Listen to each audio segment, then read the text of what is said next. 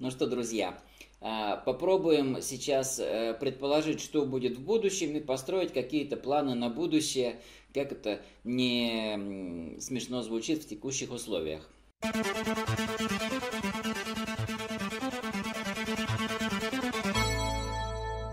Итак, здравствуйте, друзья, здесь Демитков Юрий. Э, в предыдущем видео я рассказал о том, что, э, ну, скорее всего, нам как бы будет дефицит некоторых товаров. И давайте посмотрим просто, что нас ждет и какие выходы э, можно будет э, искать, какие, э, с какими проблемами мы столкнемся и как их решать. И может быть что-то еще можно сделать, успеть подготовиться. Ну и или наоборот, значит, не метаться и не делать глупостей, потому что ну, э, наверное, сказать, ну просто сейчас очень много людей э, совершают какие-то необдуманные поступки и более того э, волнуются просто беспредельно, буквально с ума сходят. Ну, не надо, мне кажется, это делать, надо пытаться трезво оценить ситуацию.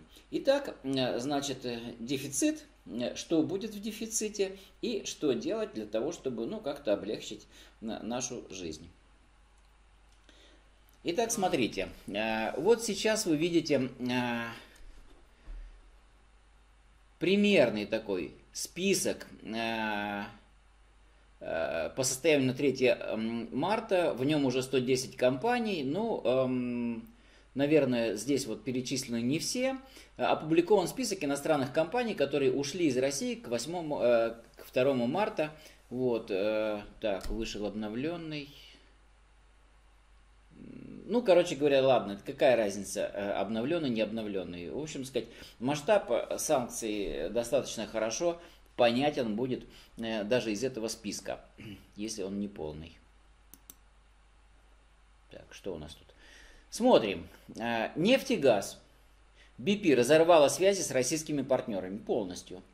Shell разорвала связи с партнерами, Equinor разорвала связи с партнерами. Equinor это, насколько я понимаю, норвежская фирма, а, государственная норвежская фирма, очень крупная. Вот. Э, Total, Total Energies э, перестала инвестировать в российские проекты. Total. Вот. Э, французская компания перестала инвестировать в российские проекты. То есть полностью не ушла, но перестала инвестировать. ExxonMobil выйдет из проекта Сахалин-1. Вот. Ну, то есть э, по нефти э, BP, э, активы BP достанутся, очевидно, Сечину. Э, вот, насколько я понял, Shell достанется Газпрому. Э, Тоталь никому не достанется, она просто перестала инвестировать.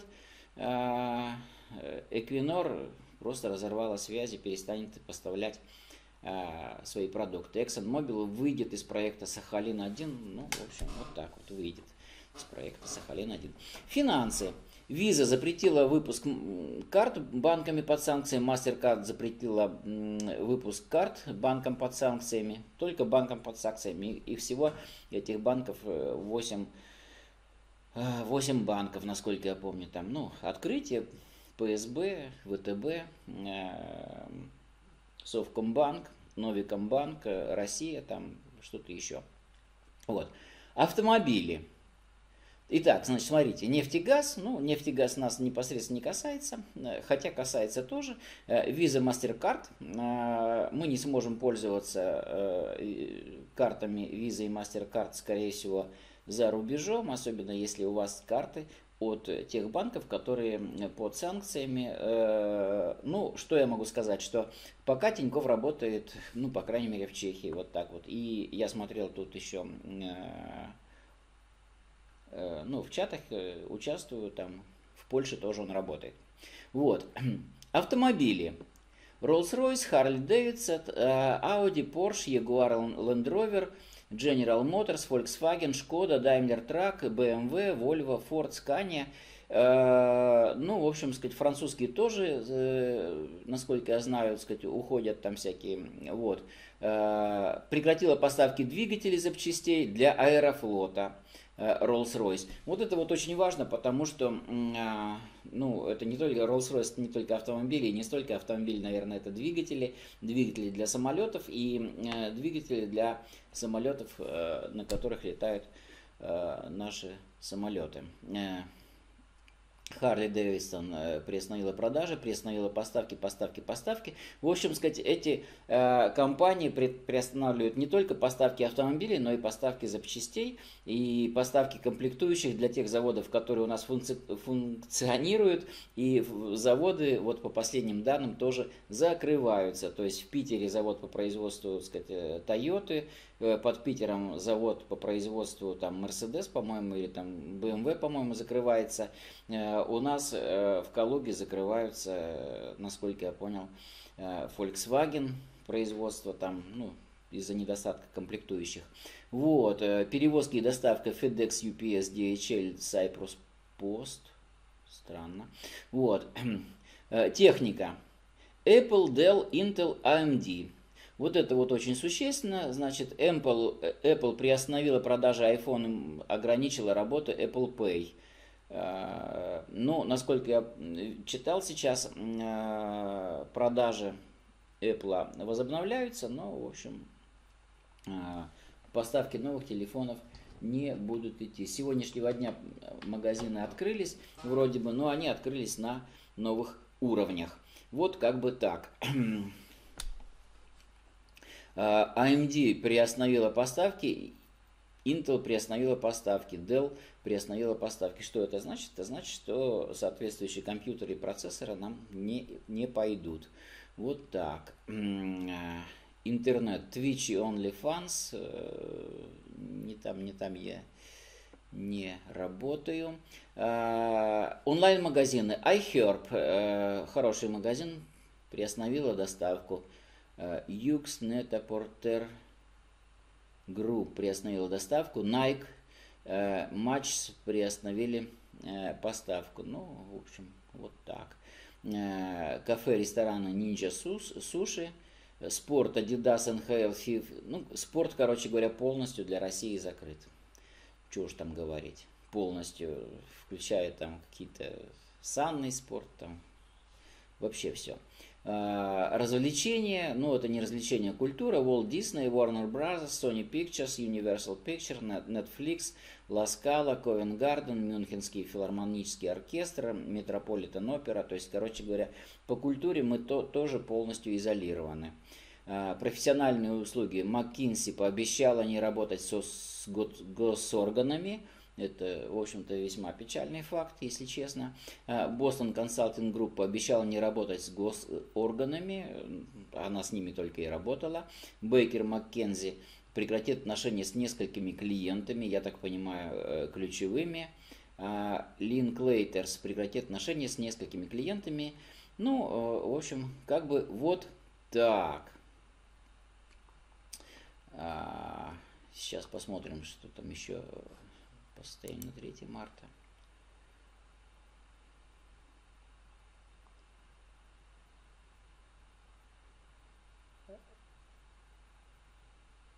Ну, в общем, списочек увеличился на 3 марта. Сильно. Не видим, да? А, что это значит? И давайте, э, значит, подумаем, к чему нам готовиться. Э, ну, смотрите, э, против России вводятся санкции и будут очень сильно ограничивать э, закупку экспортных российских товаров. Каких конкретно? Но очень сильно будут ограничивать, стараться ограничивать нефть и газ, хотя полностью закрыть их не смогут. Вот. И Россия, давайте на секундочку вспомним, крупнейший поставщик в мире по зерну, ну, наверное, тоже не смогут. Сейчас пока еще э, цены на зерно э, очень высокие и, и, и вроде не так плохо. Плохо следующее, что смотрите, Россия будет поставлять вот эти самые товары за рубеж. За них будут нам платить, потому что ну, не могут не заплатить. Проблема в следующем заключается в том, что доллары нам будут поступать скажем так. А что с ними делать? Понимаете? Что делать с этими долларами?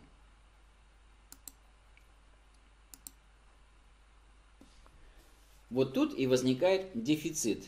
Дефицит, само понятие такое, что э, деньги у вас есть, а купить на них вы ничего не можете. Вот что такое дефицит. И давайте трезво оценить, э, что же э, вот в связи с, э, приведенным списком мы сможем, э, ну как бы могли бы сделать, и чего мы лишаемся, и чего, скорее всего, нам не стоит опасаться. Вот. А, я предполагаю следующее. Смотрите. Ну, значит, ну, надо было сделать, конечно же, э, купить что-то, и пока не поздно. И, ну, то, что я сделал, вот мне очень, как бы, прямо вот, наверное, очень хорошо, что я это сделал. Э, я уже говорил, что мы лечили зубы, там вставляли импланты, это очень дорого, там в районе 400 тысяч рублей это стоило. Мы это сделали, э, там швейцарское оборудование, и, скорее всего, э, вот здесь вот э, это уже станет, ну, в общем-то, здорово недоступно. И вообще, все медицинские вот какие-то вот услуги, которые требуют каких-то комплектующих или каких-то там лекарств, скорее всего, они станут, ну, весьма и весьма проблематичными. В России аналогов не производится насколько я понимаю. Вот. А, что касается автомобилей. Если у вас есть машина, то, в общем, сказать, э, чем быстрее вы э, сделаете там по максимуму ремонт э, всякий, то, в общем, сказать, тем лучше. Потому что, скорее всего, в будущем с поставками запчастей будут проблемы. Мы вот поменяли машину только что и, и сделали ну вот все, что можно было, так сказать, как бы сделали с машинами. Вот так. Тут еще я так подумал, э, жена говорит, вот хочу там, значит, в Икеа что-то купить, там какой-то шкаф, и купила буквально вот совсем недавно, мы его там собрали только что, э, и Икеа уходит из России там, ну, как минимум на три месяца, тоже вовремя сделали. Вот, чего не стоит опасаться, скорее всего – Смотрите, ну, давайте э, во всем плохом искать что-то хорошее. А что хорошее, э, что, скорее всего, голод нам не грозит. И это очень здорово. Друзья мои, э, это очень здорово. Вы даже не представляете, насколько плохо, когда э, вот совсем нечего есть. В свое время, когда э, вот гайдаровские реформы были, да, там цены выросли в три раза, а я был студентом в то время, и, значит, ну, мои доходы там ограничивались где-то в районе 100 рублей. Вот, ну, кто помнит, это не так уж и мало было, там 130 на самом деле, 150 было, так сказать. Вот, уже и не так много, но не, не так мало. А, но, в общем, в 1983 году у нас родилась дочь, мы были студентами второго курса. У нас родилась дочь, и э, это было летом. И летом я не работал, потому что я работал там на вычислительном центре в институте. Работы нет, естественно. А стипендию летом нам не платили. И э, вот, вот тут было плохо на самом деле. И как раз там в 84-м, насколько я понимаю, там ввели э, гайдаровские вот эти реформы. Э, вы знаете, когда э, родилась дочь, э, с деньгами было совсем туго, мы купили коляску, мне родители обещали помочь, но не помогли. Соответственно, вот тут э, конкретно э, я ходил по общаге и собирал все бутылки от кефира, и на это мы существовали. Это был источник нашего э, существования. Это было тяжело на самом деле, и я там на 50 копеек на неделю, когда рассчитывал, но вот это вот страшно, друзья мои. Так вот, э, что я могу сказать? Этого не будет. Этого не будет. А, если там зерно нас будет ограничивать, то зерна у нас вот так вот будет, точно совершенно. Но это во-первых. А во-вторых, если оно производится, то куда же оно денется? Понимаете? То есть зерно мы будем обеспечены, мукой мы будем обеспечены, и всякими, так сказать, э, хлеб у нас будет, по крайней мере. Понимаете, да? Причем хлеба будет достаточно много. Вот, э, с этим будет все в порядке. Теперь дальше, значит, э, в России сейчас уже построено огромное количество птицефабрик, и э, всякими куриными окорочками мы уж точно обеспечены. То есть вот, вот катастрофы не будет с продуктами поверьте. А, кроме того, значит, когда вы пойдете в магазин, вы увидите, что большинство всякой молочки, значит, у нас, э, ну, по крайней мере, у нас, вот я недалеко от Москвы живу, значит, э, либо нашего производства, то есть э, там можайское молоко какое-нибудь, Потом у нас калужское молоко очень хорошее, значит, там в Медыне. И э, очень много молочки из Беларуси. Ну, с Белоруссией, Белоруссия против нас не вводит санкции, как вы понимаете, поэтому с молочкой будет тоже все хорошо, и с белорусскими товарами тоже. А, что касается всяких там э, йогуртов и продукции фирмы Danone, я тут недавно обнаружил, что э, простоквашино это тоже Danone оказывается, а, а оно производится вроде как и у нас тут в Медыне. А, ну, э, вроде говорят, что Данон там прикрывает, но как бы мощности-то остаются, это значит, что кому-то они перейдут. Ну, короче говоря, с продуктами, скорее всего, будет все хорошо, и здесь беспокоиться не надо. Не надо закупать мешками муку, не надо закупать мешками гречку какую-нибудь. Я помню вот, это вот, вот эти вот годы, 90-е, когда люди покупали там мешками, эти мешки муки лежали там, сказать, под столом, значит, где-то еще, потом в них заводились жучки, червячки, и, в общем, сказать, это было просто, ну, напрасные деньги, напрасные траты, и эту муку люди так и не использовали до конца, потому что потом пошло улучшение. Не надо э, покупать продукты, э, ну так, чтобы впрок, вот совсем. А вот лекарства вполне себе стоит купить. Потому что из ограничений по SWIFT, в общем сказать, там никто не охнет, э, лекарства скорее всего, будут ограничены. Э, ну, кроме тех, естественно, которые производятся в России. А в России производится э, не так много лекарств, и далеко не все производятся в России. Э, есть поставщики очень большие лекарств из Индии, но если будет SWIFT отключен, то, в общем, я не понимаю, как они сюда поступят. Собственно, вот так вот. То есть с лекарствами э, может быть проблема, с запчастями для автомобилей может быть проблема, с э, всякой электроникой, техникой может быть проблема, потому что тут многие говорят, что Китай нас обеспечит, э, мы, так сказать, Китай нам поможет и так далее. Не надейтесь на Китай, потому что э, если Китай будет выбирать э,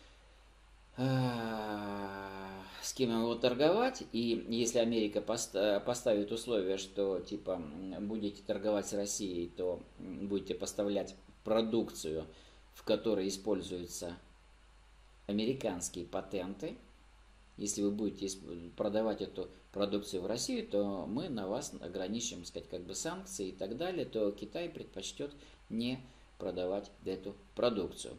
Теперь дальше. Э, что касается автомобилей, если вы посмотрите внимательно, то среди этих автомобильных марок э, нет э, китайских автомобильных марок и нет корейских автомобильных марок, потому что они не участвуют в этих эмбарго. То есть, ну, пересядем на китайские автомобили. Даже говорят, что, ну, скажем, Volkswagen – он производится в Китае, но там ребрендинг идет, вот, сказать, там Jetta и еще что-то там, но это чисто э, Volkswagen, ну, не самые новые модели, насколько я понимаю, но, тем не менее, значит, э, те же самые Volkswagen, только китайского производства, вот так вот. Э, ну, я думаю, что они, скорее всего, будут. Не знаю, как они будут, как мы договоримся о платежах с Китаем. Южная Корея очень сильно недовольна э, вот этими э, всякими санкциями. И, как вы понимаете, всякие Kia, Hyundai, э, они, ну, как бы постараются поставлять свои машины сюда всеми силами и просто захватят этот рынок. Вот таким образом. Поэтому, ну, я думаю, что здесь все наладится. Ну, а что касается всяких поставок, ну, действительно, когда SWIFT отключается, то нарушается, вообще нарушается вся логистика, нарушается э, все поставки э, всех материалов, то есть, э, что нас может ждать, это может нас ждать остановка многих-многих крупных предприятий. Ну, например, АвтоВАЗ уже встает, потому что э, там используется в различных системах, так сказать, там э, какая-то э, автоматика от Bosch. Bosch не поставляет, пожалуйста. Э, и, и вот оно, АвтоВАЗ останавливается, например, да. Э, концерн э, Renault Nissan не собирается уходить отсюда, значит, то есть Renault Лаганы они где-то там производятся у нас, и вроде бы они не собираются останавливать это производство, но опять же каких-то комплектующих будет не хватать, и заводы встанут. Э, что касается, ну, пример просто простой, это по полиграфии. Например, вот э, мы сейчас занимаемся полиграфией, значит, там, ну, во-первых, цены растут бешено совершенно, в предыдущем видео я говорил, э, и возникает вопрос о том, что ну, э, а сможем ли мы вообще в принципе купить эту бумагу? Так вот, э, уже не факт, потому что я говорю, слушайте, ну, может быть, китайскую бумагу купить, потому что тут совсем недавно китайской бумаги было завались.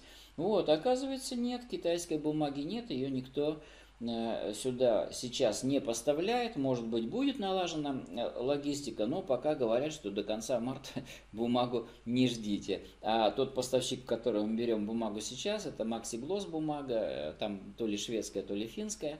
Вот, ну, в общем, говорят, что пока есть на складе, но ничего гарантировать не могут, потому что, скорее всего, ее не будет. Э, в России производится бумага, есть там завод, который производит бумагу марки Омела, но, э, скорее всего, мощности этого завода просто не хватит на всю полиграфию, скорее всего, на нее цены вырастут. Ну, э, полиграфия это то, что мне близко просто, и то же самое касается всего-всего-всего. Ну, вот мне написали в комментарии, что стоматология просто вот полностью остановится, то есть, как бы, ну, и, и многие другие медицинские штуки, все медицинское оборудование тоже импортное у нас, это все Э, остановится, э, остановится. Самое печальное то, что остановятся э, самолеты, потому что у нас ну, практически весь парк самолетов он у нас иностранный,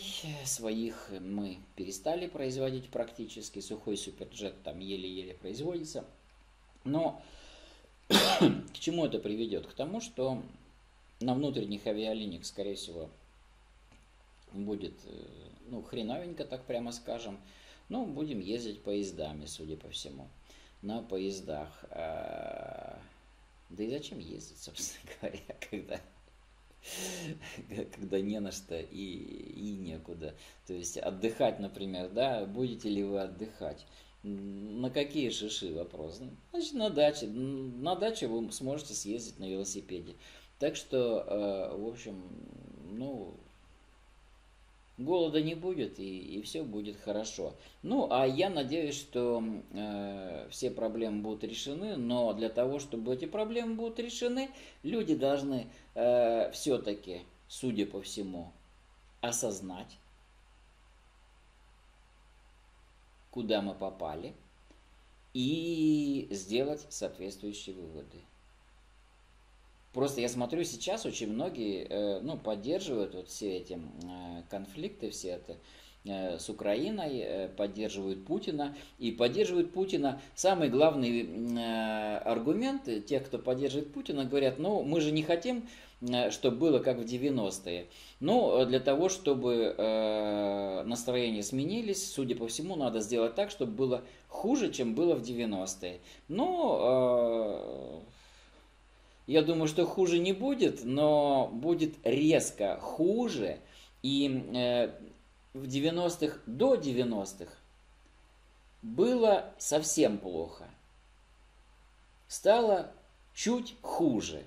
Сейчас нам было очень хорошо и станет очень-очень хреново. То есть разница колоссальная будет падение, и я думаю, что здесь настроения резко поменяются, а после того, как настроения резко поменяются, в общем сказать, э,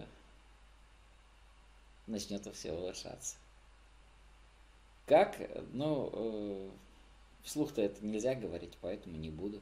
Вот, э, собственно говоря, э, поэтому надо не терять, как бы, ну, по крайней мере, рассудок, потому что я смотрю, многие теряют рассудок и э, с ума сходят. Но э, если вы что-то не можете изменить, то не надо об этом беспокоиться. Просто надо принять это, понять и думать, что же надо будет сделать. Вот. Ну, а с деньгами переводы запрещены, ну так наличными можно до 10 тысяч долларов вывозить. И может быть это может быть идеей для бизнеса. Гонять с пачкой денег туда обратно. Посмотрим. А, есть э, проблемы, найдутся решения. Я из этого исхожу. Напишите, что вы думаете по этому поводу. Лайк, подписка и до встречи. С вами был Демитков Юрий.